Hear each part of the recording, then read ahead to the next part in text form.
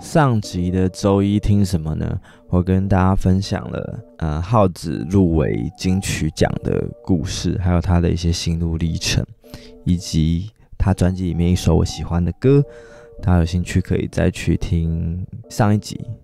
然后这一集上车预告嘛，我想要跟大家分享，呃，我自己认为的陶喆的情欲三部曲 MV。当然，他的情歌有很多首，但是。啊，我看了 MV 之后，我觉得这三个是呃最有意境的，所以我就把它收录了起来。然后分别是《暗恋》、《似曾相识》以及《爱我还是他》。那只能说，就是陶喆真的很爱找呃美女来拍 MV，然后这几这几支 MV 都是比较长的，比较叙事比较完整，然后甚至还有一部是陶喆自导自演的。那我会先从这个，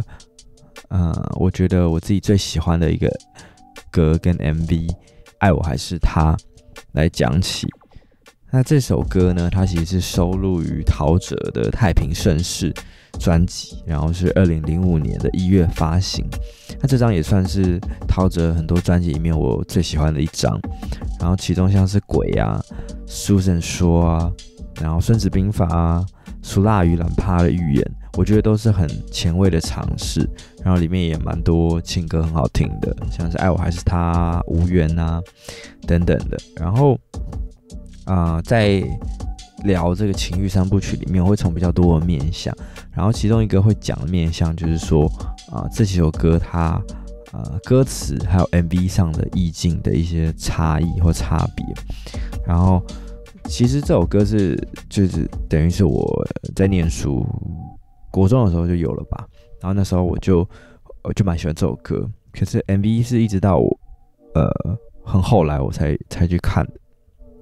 然后我会发现说，哎，歌词跟 MV 的意境那是完全颠倒的。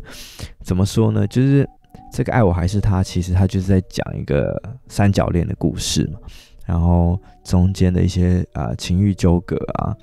等等的，那其实歌词听起来比较像是一个卑微的男人，然后他的伴侣可能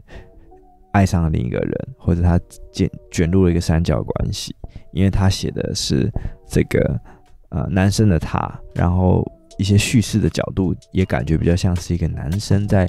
说一个呃女生的一个变化。可是呢，可是这就是陶喆最厉害的地方，就是这首歌到了 MV 里面，反而变成是两个呃一个男生在两个女生之间呃周旋，或者是一些纠葛的一些一些情况，然后想说，哎，这个不是本来的意境吧？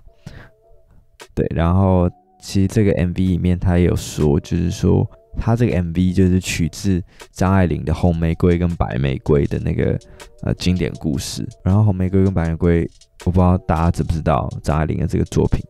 就蛮有名的。也就是跟大家讲一下，就是啊，也许每个男子全都有过这样的两个女人，至少两个。娶了红玫瑰，久而久之，红的变了墙上的一抹蚊子血，白的还是床前明月光。取了白玫瑰，白的便是衣服上沾的一粒饭粘子，红的却是心口上的一颗朱砂痣。所以呢，他其实就是在讲说，呃，就是男人在面对不同类型的女人之间的啊难以取舍这样子。但但是这这个是这个题外话，对。就是大家看到这一段，大家都会很表象的觉得说，哦，这是在讲说，呃，一个啊男人可能很常遇到的困境啊，就是他觉得不同类型的人有各自他吸引他的好，他很难抉择之类的啊，该怎么办之类。可是我就看了一些呃后续的分析，就是其实张爱玲并不是在讲说这个呃。男人有点类似这种选妃的一个情境，他不是要讲一个这么表象的东西，他反而是有点类似在呃反讽当时的男人，就是大家有兴趣可以再去研究，这个就不是今天特别想聊的问题。好，所以就我回到前段讲，所以这个 MV 的意境完全就跟歌词颠倒，我那时候看了就觉得，嗯嗯，这跟歌词写的好像是两回事啊。对，然后所以他他为了要去呃讲这件事情，他就把这个场景拉到上海跟台北两地拍摄，所以其实陶喆就是一个，嗯，就是被公司调派到上海工作的台商嘛，然后他在那边遇到上海的红玫瑰，就是由那个瞿颖饰演，然后台北的白玫瑰就是他原本的女朋友，就林可彤饰演的情欲纠葛这样子，呃，大家可以去听歌，他大家可以去听他的。歌跟看 MV，你会发现 MV 其实长达八分钟的原因，是因为它前面跟中间加了古典乐的，呃，两首古典乐的变换，然后去衬托那个氛围。然后像它的开头跟结尾，就是用德布西的《月光》。那这首歌其实也很常出现在很多广告，包括说香奈儿的广告啊，然后哥吉拉的电影配乐，然后。等于它就像是一个宁静的序曲，就是前面在讲说这个陶喆饰演的这个台商，他就到上海工作，开始了一段呃新的一个机会。然后在这边他就遇到曲颖，就是这个饰演红玫瑰的这个女生。然后呢，他中间就是呃加入了这个拉赫曼尼诺夫第二号交响曲，那它就是一个嗯很。怎么讲？很阴沉的开头，就是噔噔。好，我真的不是古典乐相关的朋友，我真的形容的很烂。好，但但他就是用了这个，因为这交响曲很长，然后他只用了这边的第一乐章，然后就是有有像一个缓慢的影子开始，然后前面就是一个大提琴啊，跟低音大提琴不断的重复演奏，然后就带出了这种嗯很。很黑暗的感觉，对，然后就是会有一种哎风雨欲来暴风雨的紧张感，然后这时候其实就是那时候的陶喆他已经到了上海嘛，然后就认识这红玫瑰，然后他们就开始了一些呃情欲上的关系，然后呢就是后来有一天不知道为什么剧情没有交代，就是他跟他的女朋友，也就是这个白玫瑰在吃饭，可能。可能来上海找他之类的，还有他的一些朋友吃饭，然后这时候这个第二交响曲就下了音乐，然后这时候这个曲影就出现，然后呢，他就是走下来，然后陶子在吃饭，然后他直接走到他的身边，然后朝着他的耳朵，他对他。讲话，然后因为这个很近的距离嘛，然后所以陶喆那时候就有点吓到，然后就一副要噎到的样子，我觉得我觉得很传神。然后他一开始可能也没有想到，就是曲颖会这么凭空出现。然后这时候呢，就是那个白玫瑰，就他女朋友也有点疑惑的看着他。然后这时候陶喆才赶快心虚的介绍，向他女朋友介绍曲颖，对，然后接着音乐就是。结束这一段之后，就是才进入 B 段，然后觉得哇，这一段很传神。然后曲颖就是坐，跟他们打完招呼之后，我们还是自己一个人坐，就坐在单人座上，若有似无的看着陶喆，就是一副哎，有点有点恶趣味的感觉吧，就是有一种整到他的感觉。对，然后我自己觉得，就是他自己在 MV 上的简介也有写，就是说他。呃，全片没有对嘴镜头，然后跟两岸两大美女的呃两岸大美女的这个情欲戏份丝丝入扣，生动演技让人忘了他的歌手身份，就是都没有 NG 这样。然后导演林景和也赞叹他的表演很出色。那那我自己觉得。在这个八分钟的 MV 里面啊，他跟瞿颖的一些调情的桥段啊，然后那种事业情场两得意的样态，我觉得都不是演出来的，就是很自然的。当然，他在那个时候确实也是在一个很巅峰的状态，不论是呃在呃两岸市场的知名度啊，然后专辑的制作量啊，都是都算是蛮有名的。对，所以我在想说，这也是为什么他演起来很自然的原因。对，那其实 YouTube 底下的网友也很坏，也不是很坏，很诚实的讲了说，就留了这一句话，我就把它收录进来。他说：“David，David 就是陶喆的英文名 David 不仅是歌手，他也是预言家，并身体力行的证明了自己的预言。就是因为其实陶喆有很多的嗯桃色的绯闻嘛，那其中有一个最有名，就是他后来在结婚之后有有跟这个呃中国的一个女星就是传出绯闻这样子，所以这个网友就有点在暗讽他这件事情。那我我想可能也是因为他的风流，所以演这个角色才演的这么的。这么的自然吧，歌词的部分其实也写得很美嘛，比如说像是嗯，寂寞深的像海，太让人害怕。然后我觉得这啊一首歌里面有一个很精华的一个词眼，就是每当爱变成了煎熬，你就开始要逃。其实我觉得不管是在歌里面还是 MV 里面，都有给人这样子的感觉，就是当这个爱变成一个压力，或是变成一个负担以后。大家就会想要开始去呃逃避这一件，逃避去面对这件事情，所以我觉得呃不只是逃着，就是说很多人在这样的情况下都会有这样子的反应。那我觉得二零零四年也是那时候呃中国对台湾很开放的一个时间嘛，然后呢，所以很多的台商西进，所以我觉得某种程度也反映了这种社会的缩影。然后 MV 的最后，我我个人的感觉是，因为他最后跟红玫瑰就是曲颖说，我们不能再这样子了，就是 I'm sorry。所以我自己觉得说，陶喆最终选择了家庭。那我想，其实跟多数男人一样，就是他不想要为了呃出轨而损害到自己原有的利益。对，那那陶喆自己他在采访的时候是说，他到底选择谁？他说在结尾的时候，他说喊嫁给我吧。他说有可能是对白玫瑰提出来，有可能是对红玫瑰提出来的，那也有可能是对上海市井而喊的。对，他说他不想要把这个答案，呃，去揭晓，就是留给留个空间给自己，给大家想象。但我自己觉得说答案明就很明显，就是你选择了你原本的女友啊，就是照那个逻辑走下来是这样子。所以如果我觉得大家啊没有听过这首歌的人，可以去听听看。那如果有听过这首歌没有看过 MV 的人，我蛮蛮建议大家去看 MV 的，因为我觉得陶喆在里面的演技还蛮好的，然后整个铺垫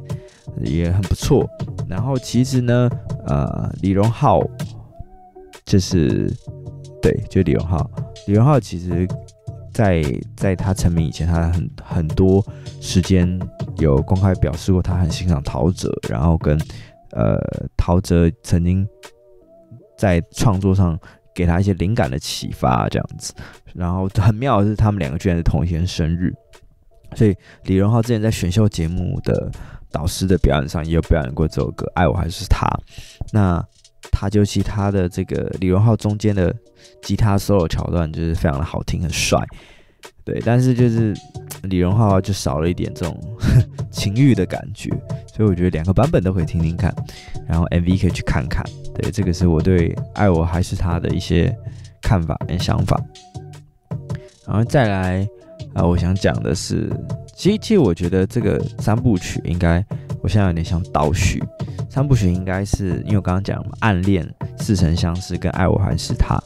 然后如果照这个。呃，时间顺序的话，其实爱我还是他最早的，然后暗恋是最晚的。可是我觉得，如果照情欲的发展的话，应该是先暗恋，然后呢，就是因为暗恋这种情况，大家一定或多或少都有发生吧？我不知道，但是暗恋比较像是一个单向的，所以可能大家会有呃。呃，很多的经验，呃，我也不知道。然后再就是有你可能有些恋爱的一些经验之后，你有时候会有一种似曾相识的感觉，就是呃，对一些人，对，然后最后才是爱我还是他嘛，就进入到一个情欲的纠葛。那我想讲的第二首歌就是似曾相识，然后它就是收录在陶喆的呃太平盛世下一张专辑，就是太美丽。就是发行是两千零六年的八月，然后呃，我想讲一下说，跟前一首歌一样嘛，我会先讲一下它跟 MV 还有歌词的不同之处，因为歌词给我的感觉比较像是说，呃，有一个现任的伴侣，然后他可能遇到一个前任，呃，可能是路上或是哪里，就偶然的遇到前任或是过往有关系的对象。因为他有一段歌词是写说，那一别人潮如海的街，和你擦身而过，有些恍神一再回头，他发现我的心不在焉，我却无法解释是谁乱了我生活。所以这边有这个他发现，应该就是当时有一个一个伴侣的状态，然后他发现了这个你让我心神不宁。对，所以我我的解释是这样子，但 MV 给我的感觉就没有这个他，就没有这个伴侣，他比较像是说你在利用一个呃现阶段很像的一个人来去忘掉过去曾经存在的一个人。那就前面有说嘛，就是这陶喆第五张专辑，然后他啊真的很爱找美女来拍 MV，光是杨景华就出现了四部，就四次 MV。然后他这一次的 MV 呢，他就是找了白新会白白来演，呃，但当然现在白新会已经已经就是呃退休了，诶，讲退休嘛，隐退，诶，隐退，呃，反正就是淡出了演艺圈，所以可能有些朋友不知道白新会是谁，反正就是一个之前是一个名模，这样大家可以去 Google。然后，所以啊，这次 MV 剧情我就觉得叙述比较老套，就是陶喆就饰演一个一个大学的英文代课讲师，然后意外发现班上的女同学白新慧，呃，长得很像自己的前女友。对，那当然，这前女友是不是死掉或者是什么样子，还是只是分手，我们无从得知。这样，那那我觉得，呃，不得不说，那那个时候，呃，其实拍起来的东西真的就是。蛮素的，很，呃，怎么讲？就我觉得那个那呃那个年代啊，已经到那个年代的状态了嘛。就是那个时候拍起来东西都是蛮自然的，没有太多的加工。比如说像像我觉得白欣慧她就是一个很算很素很自然的美女。就你会发现那时候还有那时候以前的呃一些一些 MV 啊，或者是一些。女星她们都是看起来非常自然，就是每个人有各自美的特色，就是因为每个人有自己的特色，所以看起来不是那么的完美。那可是这样的不完美，并不是说她们是不漂亮的，而是说比起现在的一些呃明星或者是完美啊，他们的五官可能很对称，然后风格可能很一致，但是就缺乏一种多元性。就像就像白白，他的眼睛很大，然后相对来讲，我我觉得他的眼距啊。就你双眼之间的距离比一般人来的宽，那可能这就是一种在对称来讲，并没有这么的完美。可是这就是他的一个特色。然后包括说他在 MV 里面，他穿着他是一个大学生，然后他穿着一个呃米奇大亮片的 T 恤，然后我觉得这就是完全就是两千年一般学生会穿着的日常，就是很朴素，然后就没有什么太 fashion 的美感，然后。也很很符合当时时空背景，就是你绝对没有办法想象现在大学生穿成这样子，应该会疯掉。对，那这部 MV 就没有像《爱我还是他》这么精彩，但大家有兴趣还是可以去听去看。那最后的结局就是，就像我前面讲的，他后来在结尾就发现说，呃，我不能再这样下去，利用一个很像的人来去忘掉我的。我前任的伴侣，所以他最后选择离开。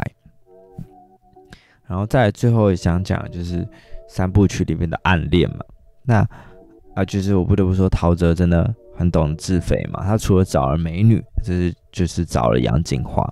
然后呢，他还在 MV 里面找了 DJ Dennis，就是那个 Yo，我是 DJ Dennis。那个 Dennis 来 赞美自己，因为那个情况就是杨锦华在搭建车，然后那个司机在啊听广播嘛，然后就在介绍陶喆的这首新歌《暗恋》，然后就是 Dennis 就是里面的 DJ 电台 DJ 嘛，他就介绍陶喆这个人啊，然后帮他美言几句，所以我觉得这个套路很深。那这个《暗恋》呢是发行于六九乐章，就是他的第六张专辑。然后就是零九年的八月发行，那他其实也也也靠了这个六九乐章这个专辑，他获得了第二十一届金曲奖的最佳男歌手。大家可能会想说，为为什么会叫六九？我怎么听起来好像哪里怪怪的？那可是这个六九其实就是以陶喆的出生年份一九六九来诠释最真实的自己，然后用来致敬这个时这个时这个时啊，用来致敬那个时代这样子。就是他就说，诶，他的双亲啊，叫双亲都是名人嘛，就是用私奔来对抗这个传统双方的家庭，然后就他们逃家私定终身，然后生下了陶喆，所以他觉得这某种程度上也造就了他顽皮啊，然后叛逆的一个童年性格。那刚刚不是说这首歌前面很自肥嘛，还找了 DJ Dennis 来吹捧他一番，就这一首的。MV 其实也是首度陶喆自编自导自演的这个主题曲，然后呃，当然虽然是自导自演了，可是他有找之前刚刚讲的那个《爱我还是他》的导演林景和一同来指导 MV 这样子。然后其实他因为他在讲一个 暗恋的故事嘛，所以。呃，男女主角就是陶喆跟杨谨华，他们在呃十年之间有一些呃若有似无的暗恋故事这样子。然后，然后其实你可以发现说，呃，陶喆在很多历年专辑就是 会写到很多用呃女性的英文名来创作的主题曲啊，比如说最有名的就是 Melody 嘛，Melody 就是写给他很久以前的一个。呃，女友就是音乐嘛，就是就是那个 melody，然后还有什么 Angela，然后 Katrina，Olia，哦，但是那个 Catherine 是写给妈妈的歌，她妈妈的歌，她妈妈叫 Catherine 这样子。然后，呃，我我我自己觉得这这个歌，我反而会觉得啊，歌我更甚推荐看 MV，就是其实有时候听歌，我觉得就很棒。然后，呃，他的他的歌词里面，我觉得，呃，有一句话我蛮喜欢的，就是“短暂的甜蜜也胜过了一辈子没有你”。那那这个短暂的甜蜜，它究竟指的是一个回忆的片段，还是呃重逢后的激情，或者是自始至终梦里面的臆测呢？就我想，就是每个人有不同的答案，或或者说每段关系可能会得出到不同的答案。那那。就是我刚刚讲的这个 MV 就在讲陶喆跟杨锦华的故事，只是说，呃，他们之间因为是暗恋的关系，所以有一些互动，但相对其他 MV 来讲不是这么多。然后陶喆也是一如既往的在耍帅，所以他就很长时间在这 MV 里面，他就是骑着他的红色的 B N W 重机在都市还有自然里面骑乘驰骋这样子。就大家如果想去看看，呃。很美的杨景华，可以去看一下这个 MV。对，以上就是我把它归类的这个呃情欲的 MV 三部曲。当然，其他的歌也有拍 MV，可我觉得就不是故事性来讲，或者是呃整体完整度来讲不这么高，所以我就没有推荐给大家。对，虽然陶喆现在已经呃。蛮少在创作的，但是其实这三首歌都蛮好听的，而且他们还有个共同点，就是说他们的作词人都是娃娃。但你也想说娃娃是谁？好像蛮多人叫娃娃的。就是其实有人统计说，台湾的乐坛有四个娃娃，一个就是唱过那个《漂洋过海来看你》的那个歌手金志娟，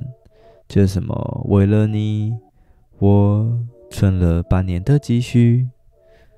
好，这大大家没有听过的人可以去去去 Google。还有一个是唱那个问情的一个蔡幸娟，他就是一个台语歌手，其实蛮常在八大的音乐节目上出现的吧。之前呢，我我后来没有再 follow，对，但他们两个都比较有年代嘛。然后再来就是，呃，这个作词人陈玉珍娃娃。对，那其实其实其实以前我就就知道这个作词人娃娃，只是我以前以为 都以为是那个魏如萱娃娃，因为魏如萱以前在 DJ 的那个绰号就是 DJ 娃娃，所以我想说，哎，因为我想说他跟陶喆的年代好像比较相近，后来才发现说不是这边的这个娃娃是指陈玉珍这个作曲人。那其实他呃算是一个非常有名，然后也写过很很多歌的一个作曲人。他甚至也帮啊张学友啊 Beyond，然后蔡健雅写过歌。所以这个娃娃可以说是一个很多元形态的作曲人。但是其实以如果以合作歌的数量来讲，其实他跟陶喆合作的反而是最多的。然后他自己觉得说，陶喆就是一个很好玩的小孩子，然后他是一个呃天生的音乐人。那他觉得合作起来没有什么啊制作上的期限期，就是还是有一些压力的。可是他觉得做起来蛮蛮 free 的，然后。呃，就是以音真的以音乐为导向，而不是市场或企划的导向，这样，所以他觉得做起来很过瘾。那我想也这可能也是因为一个很棒的作曲人跟一个很棒的作词人可以合作在一起的时候，就是可以激荡出很多的火花。对，所以呃，大家有兴趣可以去 Google 一下陈玉珍这个作词人，会发现他做过很多脍炙人口的名曲。好，以上就是我对陶喆这三首歌还有他的 MV 的分享。那大家也可以分享一下你们最喜欢陶喆的哪一首歌，然后呃，你对周一听什么这个单元有没有什么想法，或者是你有没有希望我做一些啊分享或分析，针对谁或某一首歌的，都可以留言在 Apple Podcast 或者是 IG Barnes Talk。让我知道，那我们就下一次见喽，拜拜。